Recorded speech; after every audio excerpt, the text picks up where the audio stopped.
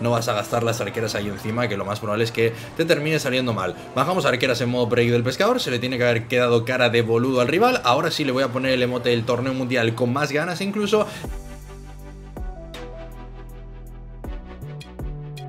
Muy buenas chicos, ¿qué tal? Soy Bale y para los que no me conozcáis, soy jugador profesional de Clash Royale. En el vídeo de hoy os voy a traer un mazo con Gigante Noble que fue la carta más pedida en los comentarios del vídeo anterior. Pero como me reviso todos vuestros comentarios, también lo vamos a acompañar de arqueras, ya que muchos decíais que queríais ver las dos cartas en el mismo mazo y otros muchos preguntabais con qué evolución combina este Gigante Noble. La realidad es que el Gigante Noble puede combinar con las arqueras que veis en pantalla, con la lanzafuegos, con los esqueletos de uno y si estás muy loco también con los reclutas. El resto de evoluciones yo sinceramente a día de hoy no las incluiría en tu mazo de gigante noble. Ahora mismo estaréis viendo en pantalla la encuesta que ya tenéis disponible para votar esas tres cartas de cara al próximo vídeo. Es muy sencillo, solo tienes que poner uno, dos o tres en los comentarios dependiendo de tu carta favorita para ver formando el mazo del siguiente vídeo.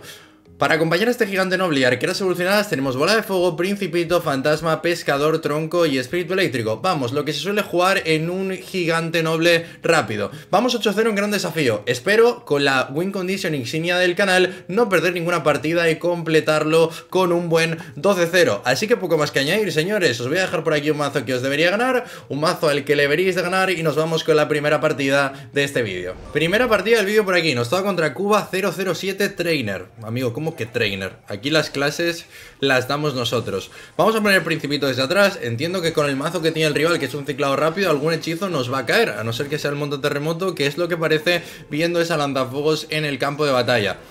Mirad, mi consejo es que cuando estéis en esta situación no intentéis activar la torre con el monta, porque ya lo va a lograr la lanzafuegos. Si tenéis que esperar a que avance el monta para que lo enganche el pescador, os vais a tener que ocupar de la lanzafuegos y del monta por separado con el mismo pescador y la ayuda de algo más conectando sobre el monta puerco podemos defender sin ningún problema y conseguir ese objetivo de tener la torre central activada.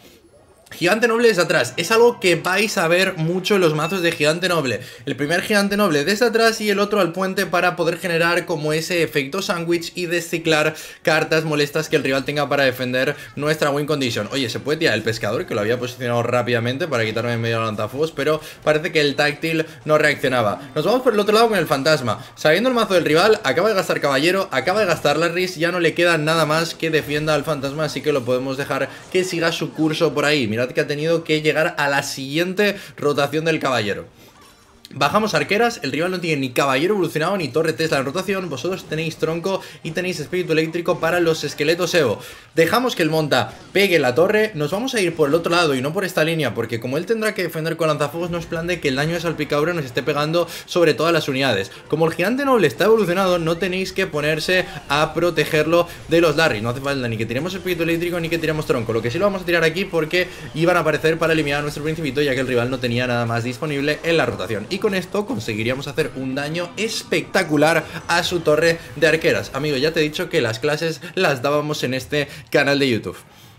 Cuidado si nos hace un caballero con monta, porque quizá tenemos que bloquear al caballero y hacer la defensa más épica de nuestra vida. Si pone el caballero desde atrás, no vamos a tener ninguna complicación. Espíritu ciclar, si salta eso que nos llevamos, si no, pues oye, nos está acelerando la rotación y baiteando alguna carta del rival que nos puede poner en un compromiso. Mirad dónde tiro el pescador, lo tiro ahí, aunque no aparezca todavía el monta, porque al final yo la defensa del monta ya la tengo casi completada con la guardiana y así la lanzafuegos no me está raspando con los proyectiles en la torre, que quizás la única posibilidad que tiene ahora mismo el rival para ganarme la partida. Le vamos a tirar bola de fuego hasta Firecracker, vamos a preparar el espíritu eléctrico por si aparecen los Larrys, que es este gigante noble no está evolucionado y solo nos quedaría completar una defensa del montapuerco. No pongáis el pescador aquí, ponedlo más arriba, pero bueno, llegados a este punto no hay ningún problema. Es más, podéis meter gigante noble al medio e ir a por la segunda torre, aunque viendo los tres segunditos que faltan, iba a estar bastante complicado. Primera victoria, las clases, amigo Cuba, las damos nosotros y nos vamos a por una segunda.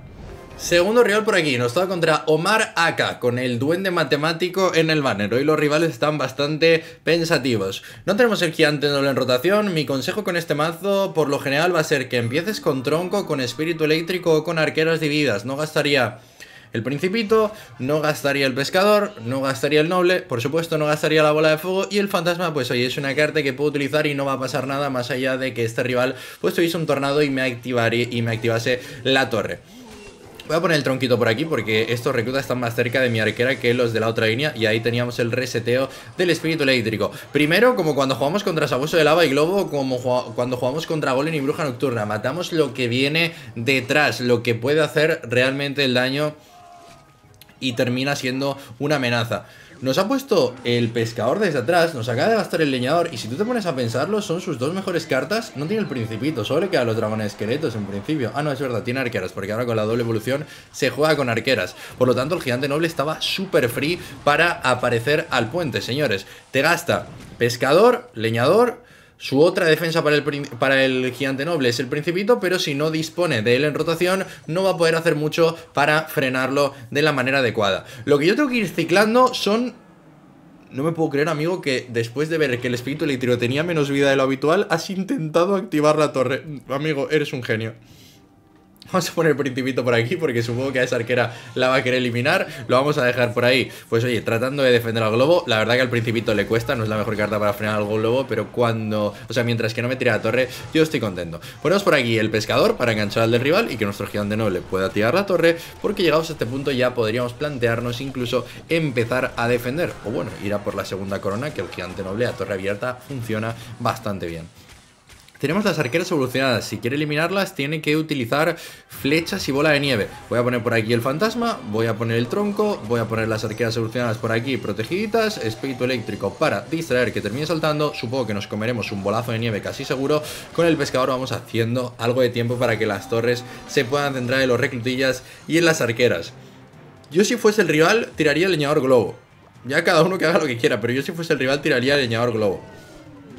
Vamos a poner Principito y rápidamente vamos a poner Guardiana. ¿Por qué? Porque si no ponemos Guardiana aparece un pescador al puente y podríamos tener algún que otro problema. Vamos a poner por aquí Tronquito, Espíritu Eléctrico para distraer un poco a esas unidades. Bajamos el amigo pescador para distraer al leñador y espero poder no recibir tres golpes del globo en la torre.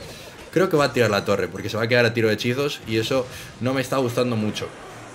¿Podríamos haberlo hecho mejor? Sí, podríamos haber sacado el leñador de la ecuación, pero hemos llegado muy tarde con el espíritu eléctrico. Las arqueras las tiro la primera carta para tenerlas antes de la rotación y poder utilizar las evolucionadas que son realmente las peligrosas. El resto me dan un poquito igual. Ponemos por ahí el fantasma para proteger al principito de cartas como el pescador, ponemos espíritu eléctrico, ponemos tronco y con eso de momento creo que hemos defendido. Bueno, con, eso no, porque viene, viene el globo al centro, amigos, tenemos un problema. Vamos a meter aquí la bola de fuego de nuestra vida o a intentarlo no pegó. La verdad que no contaba con eso. Ponemos espíritu eléctrico por aquí para resetear un poco a todo el mundo. Está pegando el principito sobre la torre y el gigante noble metiendo bastante daño. Vale, vamos a hacer una cosa. Pescador aquí, tranquilidad, el suyo nos engancha en la torre. Vamos a meter Tronquito, no me enganches al principito porque si mete guardiana me fulmina Aunque bueno, si va a hacer ataque con globo, igual hasta me interesa La cosa es, ¿podremos aguantar? Bola de fuego, no, yo creo que me gana él, me gana él, me gana él. Me gana él porque el gigante noble no va tan rápido ya que no estaba el efecto de furia. Errores claros en esta partida, no haber distraído al leñador y dejar que el globo venga acompañado con la furia. Pensad que un globo nos duele mucho porque el principito es una carta que tarda mucho en tener ese disparo máximo Y cuando no tienes la evolución de las arqueras en rotación también puedes reiniciarlo con bola de nieve. Bien jugado, Mar, nos vamos a por un siguiente rival. No hay forma últimamente de completar el gran desafío sin ninguna derrota. Yo creo que tiene que ser porque que la gente está harta del nivel 15 y ha pasado a jugar grandes desafíos. Principito del rival, esqueletos, puede ser literalmente cualquier mazo, el nuestro seguro que no, porque tenemos espíritu eléctrico como carta de ciclado en lugar de Larris. Tenemos pescador para enganchar al principito, no tenemos que ponernos nerviosos, no tenemos que utilizar bola de fuego, vamos a esperar a ver qué va sucediendo. Si el rival tiene paquete real, lo más probable es que sea un Miner Control o que sea el mazo de puerquitos. Vamos a hacer gigante noble desde atrás porque no tiene el principito en ciclo, porque tendríamos el espíritu eléctrico para defender aquí súper barato y de hecho lo que voy a hacer es poner tanto el fantasma como el espíritu eléctrico. Meto daño de splash, me quito de medio a todo el mundo y reinicio los fuegos para que no hagan tantísimo daño en mi torre. La verdad que lo suyo sería ir ciclando el pescador, pero como nuestra rotación no es la mejor, de momento nos vamos a esperar un poquito más.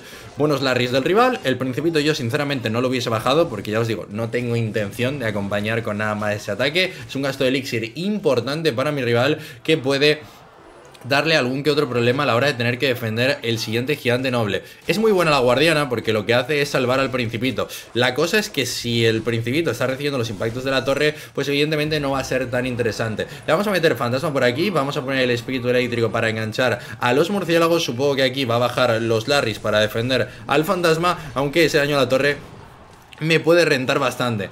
Si nos mete puercos, les ponemos bola de fuego. Ya no tenemos el fantasma en ciclo, pero tenemos defensa perfecta también con nuestro hechizo.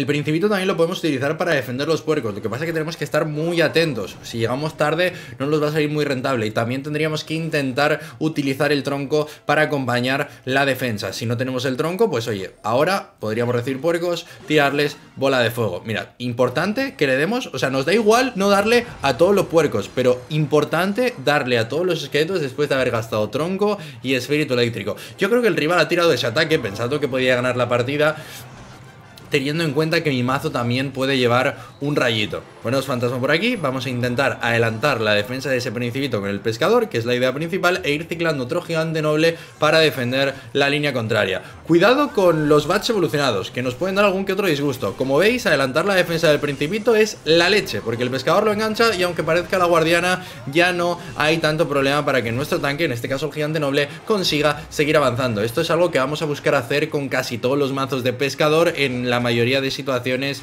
en las que tengamos que tradear un principito. Fantasma de nuevo por aquí, que está poniendo muy nervioso al rival. Es la típica carta que te tiran por el otro lado y no veas cómo molesta. Ponemos bola, ponemos tronco, hasta luego el principito. Llega la guardiana, pero sin principito por en medio no me tengo que preocupar demasiado. A la vez que ponemos noble ahora, ponemos el siguiente fantasma, porque hemos gastado la bola de fuego. Yo si fuese el rival metería unos puercos y me iría al ataque. No sé qué tiene en mente, pero defender no creo que sea la mejor de las ideas. Bueno, vamos poniendo ya el fantasma porque lo siguiente es liquear. No sé si ahora nos dejará enganchar al principito, tengo curiosidad. Así que oye, como entiendo que vas a tirar guardiana, voy a meterle bolita tronco y me lo quito de en medio para que no puedas aprovecharlo mucho más.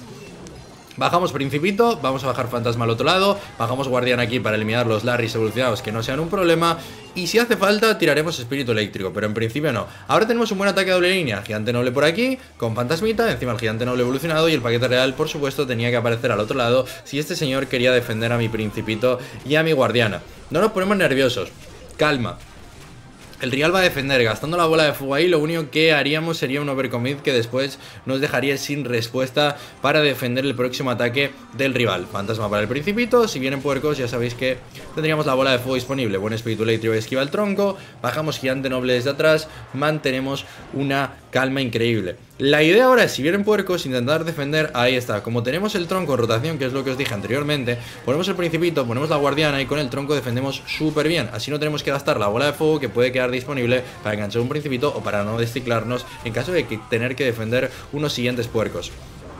Vamos a poner el espíritu eléctrico por aquí. Voy a poner el tronquito para enganchar esos Larrys. Voy a poner las arqueras evolucionadas que vayan eliminando a los Bats Evo. Si vienen puercos, puede ser que tengamos que utilizar la bola de fuego. Tradeate al cañón arquerita, que sería un poco la idea. Ahí está, para que nuestro gigante noble pueda avanzar. Preparamos la bola de fuego por si tenemos que enganchar alguna carta que ponga el rival. Tiramos tronquito también. Ahora hay que defender, porque él va a venir, por supuesto, con puercos. Tiráis fantasma, tiráis principito, que son las dos mejores cartas que tenéis fuera de la bola de fuego para poder defender eso. Bueno, el principito realmente no, pero su habilidad sí. Ponemos bolita de fuego, amigo, no. He activado la guardiana antes de que el paquete real pudiese caer porque sinceramente tenía mucha pinta de que lo ibas a intentar. Le ganamos al señor Bocci y nos vamos con la siguiente partida de este vídeo. Nos toca contra el señor Looney. Amigo, ¿cómo que el dedito de la CRL? Que lleva una camiseta del Team Montapuerco. No lo sabéis, pero esto es una camiseta del Team Hog Rider con los dos martillitos así cruzados. Que detrás lleva un montapuerco guapísimo. Así que no me ando con tonterías. Te voy a poner por aquí el emote de Boom y el emote del torneo mundial para que veas que vamos en serio. Parece que él también tiene el del Boom. ¡Ostras! Ostras, tú, ¿qué tienes del torneo mundial? o sea, de normal, tú pones cualquier emote y dices, vale, el rival me responde. Pero como pones el del torneo mundial, dices, no, el rival no me va a poner el emote. Y sí, resulta que lo tiene. También tiene el pase de batalla que entiendo lo habrá comprado con el código Bail en la tienda. A ver, te voy a mover un poco los pectorales. Igual el bárbaro sexy no lo tienes. No, no lo tiene. El bárbaro sexy no lo tienes. Cuando repites el torneo mundial, eso significa que no lo tiene.